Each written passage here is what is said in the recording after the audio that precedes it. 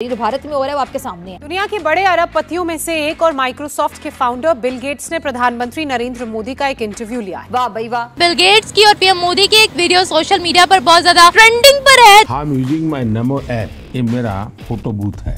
अब आप सेल्फी ले लीजिए इस पर। Wow. सो इस इंटरव्यू में पीएम मोदी और बिल गेट्स के बीच आर्टिफिशियल इंटेलिजेंस यानी कि एआई से लेकर भारत में हो रही डिजिटल क्रांति तक कई मुद्दों पर चर्चा हुई। ठीक है जी। भारत पूरी दुनिया में नाम क्यों इतना कमा रहा है और सब उनकी तरफ़ क्यों जा रहे हैं? जलवा है हमारा। हमारी कंट्री को कैसे देखा जाता है बाहर की कंट्रीज़ में या कोई नामवर शख्सियत पाकिस्तान में आना पसंद करती है? हरगिज नहीं। कोई पसंद नहीं करता पाकिस्तान में आना। भारत अ, हमारा रिवायती हरीफ है मुझे ये तारीफ़ करते हुए अच्छा तो नहीं लग रहा लेकिन आप देखें कि वहाँ तरक्की हो रही है। फिजा। फिजा। फिजा। अरे बस कर रुलाएगा क्या? एक बार और भारत की तारीफ़ कर दो। कहते हैं तो चले मान लेते हूँ। भारत अ, हमारा रिवायती हरीफ है मुझे ये तारीफ़ करते हुए अच्छा तो नहीं लग रहा। मुझे ये तारीफ़ करते हुए अच्छा तो नहीं लग रहा। मुझे ये तारीफ़ करते हुए अच्छा तो नहीं लग रहा। लेकिन आप देखें कि वहाँ तरक्की हो रही है। फिजा ये वीडियो को देख के अपने आप को कोसेगी कि मैंने भारत की तारीफ़ की क्यों? कि भारत पिछले कुछ अरसे से हर मुल्क हर जो देश है वो यही चाह रहा है कि वो भारत के अंदर आकर इन्वेस्टमेंट करे। दोस्तों जिस तरीके से भारत का डिप्लोमेटिक डंका पूरी दुनिया में बज रहा है। सुनते जाइए। ये मोदी जी बता रहे हैं कि बच्चा को पैदा होता है तो वो अपनी माँ को आई बोलता है। का, कान खोल कर सुनो। हमारे देश में माँ को आई बोलते हैं। माता को बहुत से राज्यों में भाषा बोलते आई। अब मैं कहता हूँ हमारे यहाँ बच्चा पैदा होता है तो आई भी बोलता है ए आई भी बोलता है। वाह मोदी जी वाह। अब फिजा खलीफा साइंस और टेक्नोलॉजी पे अपना ज्ञान देगी। वो भी जहालत से भरपूर। और आईटी की या टेक्नोलॉजी की दुनिया में इतना काम हो रहा है लेकिन हम गाय बकरियाँ कट्टों की बातों से बाहर नहीं आ रहे। और तो और हमारी सिटिंग गवर्नमेंट के मिनिस्टर्स टीवी पे बैठ के ऐसी ऐसी बातें कर देते हैं कि हमें मेरे ख्याल से कोई कार्टून नेटवर्क की कमी महसूस नहीं होती। हमारी कंडीशन ये है कि हम रोटी के लिए आटे के लिए दर दर के ठोकरे खा रहे हैं। अबे भूखे नंगो कंगलो पाकिस्तानियों। लेकिन दूसरी तरफ़ इंडिया डेवलप कर रहा है। यही तो कयामत है। जैसा कि आपको पता है कि मोदी जी की और बिल गेट्स की जो मीटिंग थी वो पूरे संसार के अंदर सुर्खियों का विषय बन चुकी है। चाहे यूएस हो यूके हो कनाडा हो जर्मन हो मतलब सब पूरी दुनिया के अंदर इसके ऊपर आर्टिकल छप रहे हैं खबरें छप रही है। कोई अपनी तरफ़ से पॉजिटिव न्यूज़ छाप रहा है कोई नेगेटिव न्यूज़ छाप रहा है। लेकिन हमारे पड़ोस में एक भूखा नंगा कंगला मुल्क भी है उस मुल्क का नाम है पाकिस्तान। और पाकिस्तान के अंदर भी ये मीटिंग चर्चा का विषय बनी हुई है। और पाकिस्तानी तो आसमान से उतरे हुए इस स्पेशल जाहिल है जो सिर्फ़ हिंदुस्तानियों को कराते मनोरंजन। हलवा खाएँ और सो जाएँ। और मनोरंजन करने के लिए अपन को चलना होगा पाकिस्तान। तो बिना देर के चलते हैं पाकिस्तान। चल चल चल चल हमारी कंट्री को कैसे देखा जाता है बाहर की कंट्रीज़ में? या कोई नामवर शख्सियत पाकिस्तान में आना पसंद करती है? कोई पसंद नहीं करता पाकिस्तान में आना। वरना पाकिस्तानियों को बाहर उतनी रिस्पेक्ट दी जाती है जितनी पहले दी जाती थी। अब नहीं दी जाती। किस नज़र से देखते हैं हमें? बुरी नज़र से ही देखते हैं। बिल गेट्स साहब वो हैं जिनकी मिसाल हम ये सुनते होते थे कि वो रास्ते में चल रहे हों और वो जेब में से पैसे निकाल रहे हों और कुछ पैसे नीचे गिर जाएँ। तो उनके पास इतना टाइम नहीं है कि उन पैसों को उठा लें। कुछ भी। तो उन्होंने पाकिस्तान के इमरान खान साहब को जब वो वक्त के वज़ीर आज़म थे तो उन्हें जवाब नहीं दिया। जब मतलब उन्हें पता है कि इस मुल्क में क्या चल रहा है और क्या मामला है। सेफ़ साइड ही नहीं है। अब सुनते जाइए। मैं आप, आपको बता रहा हूँ ना जब तक ये हमारी जो पॉलिटिकल स्टेबिलिटी है जब तक ये नहीं आएगी हमारे मुल्क में कभी भी सुकून नहीं हो सकता। किसी भी मामले में किसी भी शोबे में हम चले जाएँ हम कभी भी इसमें कामयाब नहीं हो सकते जब तक स्टेबिलिटी नहीं होगी। बिल्कुल है बिल्कुल है कोई दो राय नहीं। अदरवाइज़ दूसरी बात यह है कि देखें दुनिया का छठा बड़ा कंट्री है पाकिस्तान आबादी के लिहाज से। ऐसा नहीं कह सकते कि भाई ये छोटी कंट्री है तो इस वजह से उन्होंने टाइम नहीं दिया होगा। अगर टाइम नहीं दिया तो। आपिद भाई क्या बातें हुई मतलब जो बिल गेट्स की और इंडियन प्राइम मिनिस्टर की मुलाकात थी उसके अंदर क्या बातें हुई हमें क्या सीखना चाहिए? और क्या लगता है टेक्नोलॉजी के ऊपर इंडिया जिस तरीके से आगे निकल रहा है? जी सीखने वाली जो बात की बड़ी मज़े की बात की है। अ, इंडिया में कोई बच्चा पैदा होता है ये मोदी जी बता रहे हैं कि बच्चा कोई पैदा होता है तो वो अपनी माँ को आई बोलता है। ठीक है। मतलब हम इधर अम्मी जान बोलते हैं वो आई उधर आई बोला जाता है। लेकिन उधर उन्होंने एक चीज़ और साथ बड़ी मज़े की जोड़ी कि इसके साथ बच्चे को एआई का भी जो है ना पता होना चाहिए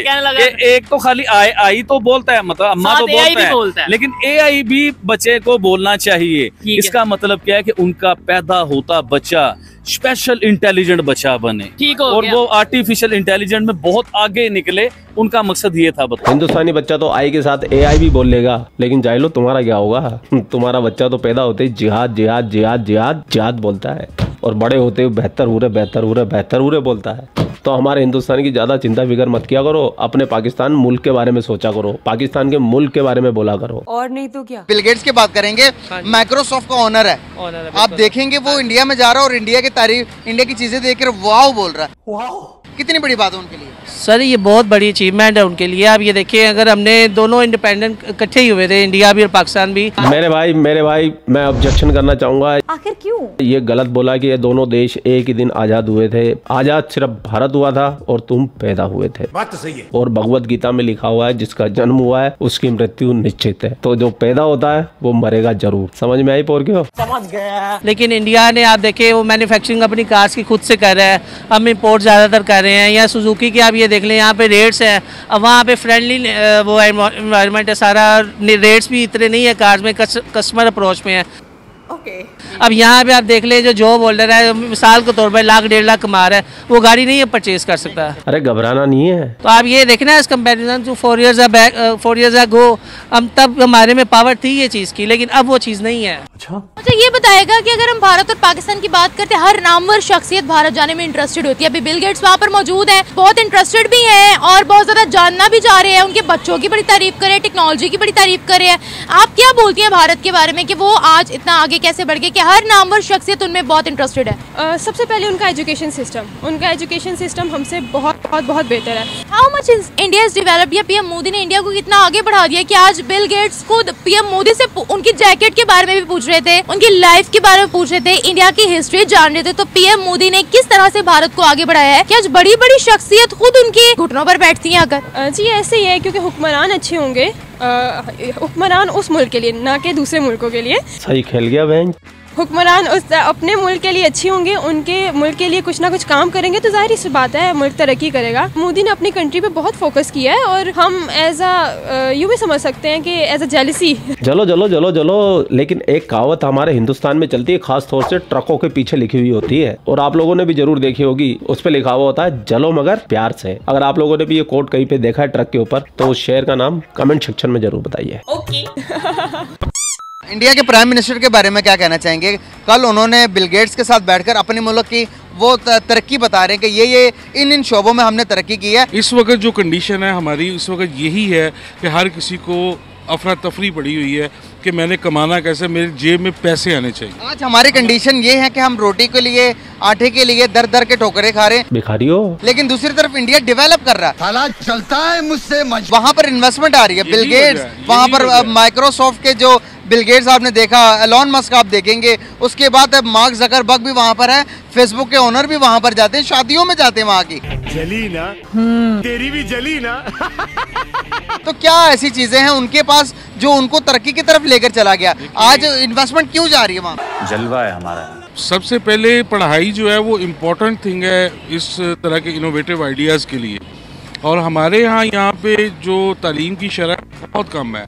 बहुत ज़्यादा काम है और टेक्नोलॉजी में हम बहुत पीछे हैं उनसे इसके लिए हमें पहले हमारे मुल्क में खुशहाली होगी हम आ, हमारे आम आदमी के लिए बेहतरी होगी तो आगे हमारी जनरेशन जो हैं वो इस काबिल हों उनको अच्छी तालीम मिले अच्छा शौर मिले एक अच्छा पाकिस्तान मिले। जब तक हम एक अच्छा कंट्री नहीं दे सकते जब तक अच्छा मुआशरा नहीं दे सकते हमारे बच्चे कुछ भी इनोवेट नहीं कर सकते। बात तो बंदे ने बिल्कुल सही बोली है लेकिन तुम लोग जिहाद की शिक्षा भी तो तुम ही देते हो। तुम ही तुम्हारी किताबों में बच्चों को ये पढ़ाते हो कि हिंदू काफिर होता है। सुनते जाइए। हिंदू गलीच होता है। सुनते जाइए। हिंदू के साथ में पानी नहीं पीना चाहिए हिंदू के साथ खाना नहीं खाना चाहिए। सुनते जाइए। हिंदुओं के साथ में तुम्हारा उतना ही रिश्ता होना चाहिए जितना अब मैं क्या बोलूँ मौलाना से सुन लो। आपने फरमाया अगर काफरों से ताल्लुक ज़रूरी भी है ना तो बस इतना ही है जैसे लेटरीन के अंदर जाना मजबूरी है। इतने गलीच और गंदे शब्द तो मेरे मुँह से निकलते भी शर्मा रहे हैं और ये जाहिल लोग उन पे अमल करते हैं। लानत है तुम लोग पे लानत। इसीलिए तुम्हारा मुल्क तुम्हारा माशरा ना तो कभी तरक्की किया था ना कभी करेगा। सही बात है। अच्छा मुझे ये बताएगा कि अगर हम पाकिस्तान की बात करते हैं हमारी कंट्री में कोई नाम और शख्सियत आना पसंद क्यों नहीं करती? है क्योंकि आप उल्लू के पट्टे। मोहम्मद बिन सलमान ने पाकिस्तान आने से मना कर दिया अपना ट्रिप कैंसिल कर दिया था जब जी ट्वेंटी की मीटिंग थी। क्या वजह लगती है? पाकिस्तान में नो वन इज़ इंटरेस्टेड मुझे लगता है हमारी इमेज ऐसी बना दी गई है कि पाकिस्तान किसी को भी सेफ़ नहीं लगता है। ये बड़ी अच्छी बात कही आप किस लिहाज से पाकिस्तान सेफ़ नहीं लगता? मतलब वो बाहर के मुल्क वाले लोग आकर क्या करेंगे यहाँ पे? वो किस फ़ील्ड को किस फ़ील्ड के ज़रिए आएँगे और उनका क्या आके काम क्या होगा? मेरा ख्याल है इसी वजह से। मैं बताता हूँ मेरी बहन, मैं बताता हूँ तुमको, तुम्हारा चेहरा लोग क्यों नहीं देखना पसंद करते? तुमको देखने के बाद में मुंडी और घुमा लेते हैं। इतनी गलीच कौम हो चुकी है तुम्हारी पाकिस्तानी, क्योंकि तुम्हारे चेहरे के अंदर लोगों को आतंकवादी नज़र आता है, जिहादी नज़र आता है, पता नहीं कब फट जाए। आए दिन तो पाकिस्तान में धमाके और होते हैं। कौन आएगा तुम्हारे पाकिस्तान के अंदर? थोड़े बहुत हिंदू श्रद्धालु अगर पाकिस्तान में जो पुराने मंदिर थे, वहाँ आना चाहेंगे भी तो उनको भी तुमने तोड़ दिया, उनको फोड़ दिया, खंडर में तब्दील कर दिया, किसी को ऑफ़िस बना दिया, किसी को टॉयलेट बना दिया। तो कौन आएगा तुम्हारे पाकिस्तान में? चारों तरफ़ सुसाइड बॉम्बर घूम रहे तुम्हारे। बलूचिस्तान में कोई आज़ाद घूम नहीं सकता है। पीओके पे तुमने चक्के चप्पे पे आर्मी बिठा रखी है। क्यों आएगा भाई? कोई नहीं आएगा तुम्हारे पाकिस्तान में। और भाई साहब आप क्या कर रहे हो? आपने अभी तक वीडियो को लाइक नहीं किया। भारी मिस्टेक हो गया सर। सबसे पहले वीडियो को लाइक करो कमेंट करो शेयर करो और कमेंट सेक्शन में इन पाकिस्तानियों को पहलो ये हर एक हिंदुस्तानी का नैतिक कर्तव्य है इसलिए अपने कर्तव्य का वहन करो। ओके। आप लोग अपना ख्याल रखें आपका भाई आपके लिए पाकिस्तान से रिलेटेड वीडियो लाता रहता है। जय हिंद वंदे मातरम जय श्री राम जय श्री राम जय श्री राम।